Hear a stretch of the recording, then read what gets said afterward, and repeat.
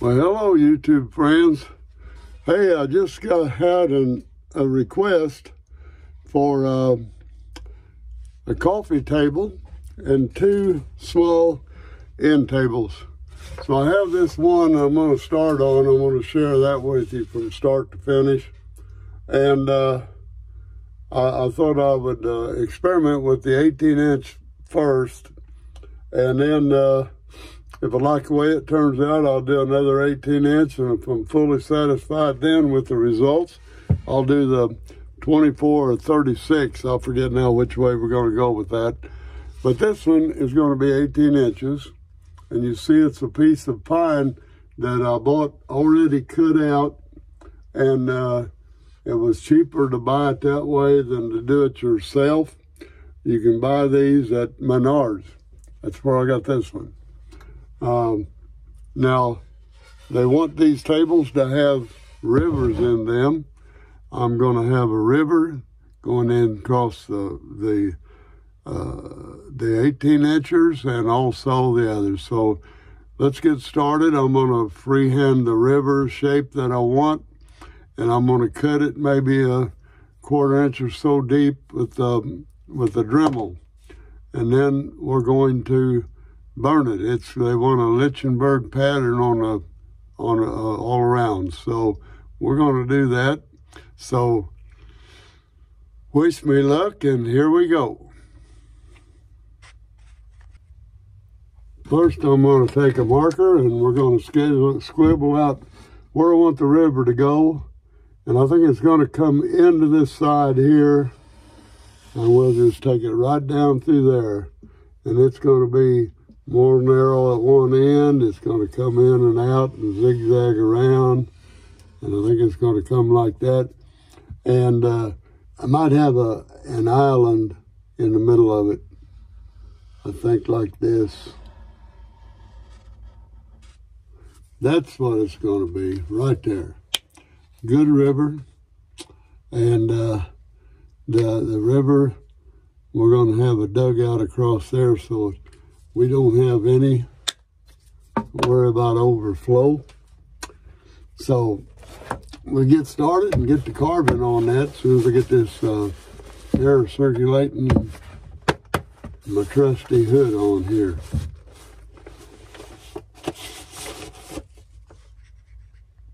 I might do some detail work with uh, with the Dremel, but I uh, I decided not to start out there. I'm going to use my uh, chainsaw, what's my digger here.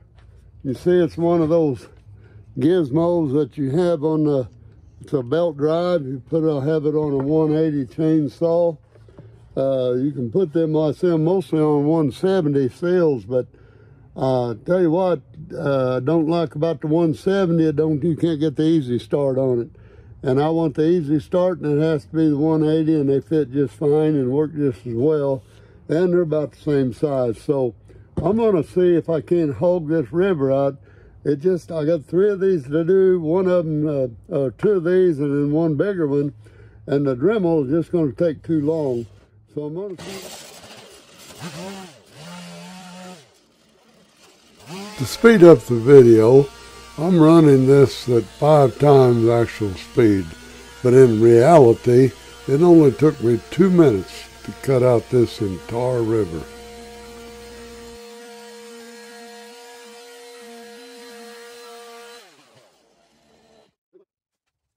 That's a fast way to get a river through there. Now I'll take a, I'll take a Dremel and do some details around the edges and uh, smooth that out where I want.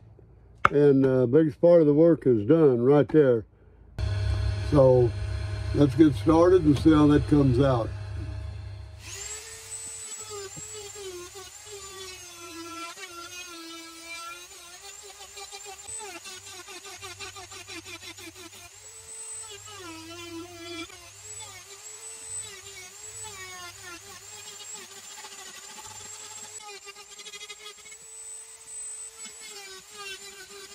So let's call that good. And uh, I'm going to do the Lichtenberg burn on this part of it.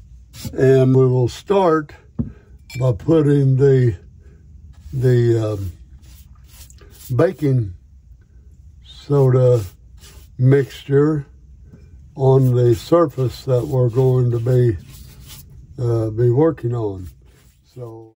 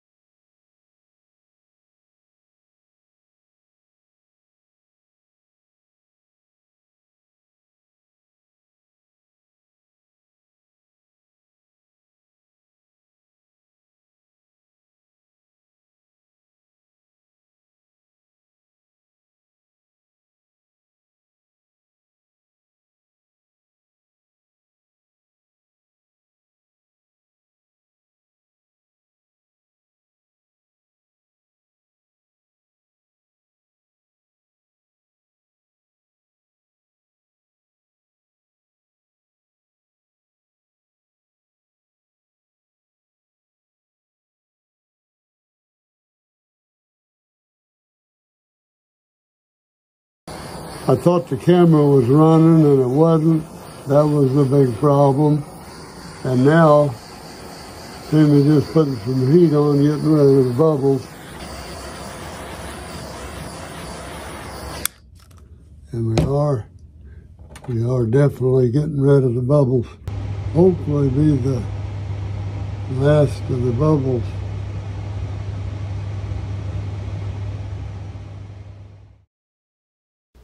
In preparation for the pour, I sand the entire piece from 80 to 400 grit.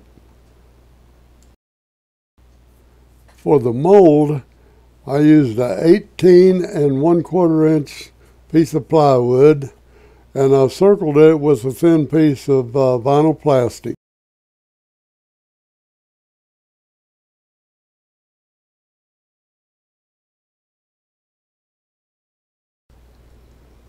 Now we're ready for about a quarter inch thickness epoxy pour across the entire top and uh, that will require then about 24 hours to let that dry and it'll be ready to take out of the mold.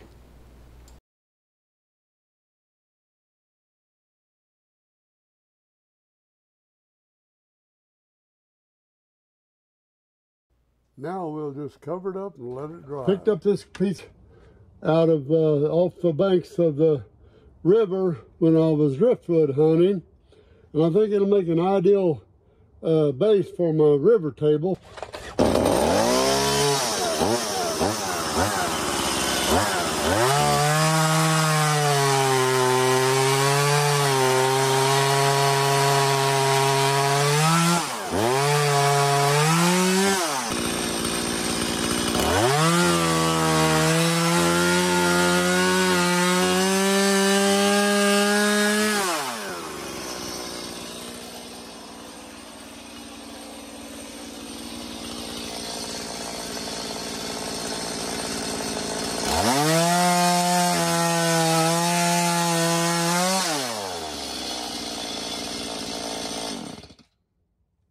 Going to have to try that in the shop and get it leveled up the best we can. and uh, and see what it looks like. Okay, I'm back in the shop. This is ready to sand and finish. Okay. I want to start the sanding process. Have this little, my new little handy dandy uh, palm sander, and I think I can get the biggest part of it done that way. It's pretty smooth anyway. It's not real rough, but I wanted to show you what it's looking like. Look at the difference here. It's uh, already turned gray. It's been laying outside in the driftwood, and uh, got a little check right here we're going to take care of. But uh, there's what it's looking like after I get it cleaned up. Well, I've decided to do something a little different for this table base. I'm going to take these wedges and drive them in and uh, get a nice, get, get the crack sort of filled in.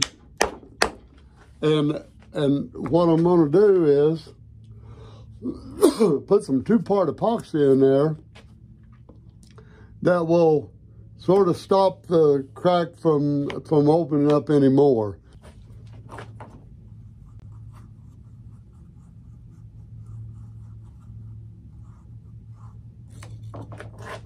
I wanted to show you here how I'm applying, how I'm going to, to glue this all together. Wondering how you're going to get epoxy down in on each side and all around that crack. Well, what I'm doing, I'm using door jamb way, way, uh, wedges that carpenters would use to to square up doors with. Uh, you can buy at all the big box stores and little hardware stores and everywhere. But I mix up uh, my two-part epoxy and put it on one side of that wedge. Two-part epoxy on both sides and sandwich between the wood before you ever put it in there. And now I'm going to lay it right down, right down in there. And it'll fit in there. Now when I drive this in, it's going to wedge it in, in tight. We can, we can drive all the wedges in there we want. Uh, yeah, let's get that done now and the same process and uh, like I said before, we'll get it all sanded real good again and stain it. And by golly, we'll have us a table stand. Well, here, uh, here's my end table base again. I'm sanding between each coat of, uh, of polyurethane, and I'll be giving it probably five or six coats. I don't know. This is the second coat here, and uh, it's getting pretty smooth now. I'm uh, re-sanding this with uh, with 320 uh, until I get to the last sanding, and I'll I'll probably use 400 then, and then I give it a final coat. Here's that big uh, crack down one side where it's separated. it's glued uh, glued and wedged uh, with uh, two-part epoxy. Then I filled it with sawdust, and uh, I'm to leave that crack just the way you see it right there, but I'm to have it stained so it will, will sort of match. So let's uh, get finished with this, uh, uh, what will be the fourth coat and see what it looks like. Okay, finally time to attach the tabletop to its base. And we do that with some L brackets that simply holds holds it down. And the L brackets, the screws I used are 5 eighths, and these are 3 quarter inch uh, tabletop. So now we put the screws in that goes down to anchor that way. And uh, well, we're, we're finished. We're ready to turn it over and see what it looks like sitting in position in the office. This is about as good as it can be this way, but the floors are not always level, especially on concrete. So you ever hear of three-leg tables never wobble? Well, keep that in mind because you're about to see that that is very true. We're going to go here, have these holes marked somewhere. That might be it.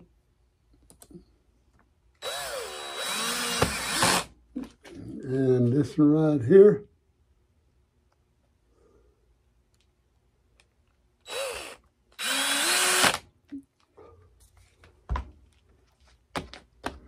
Three-legged table. Went from two legs to three legs.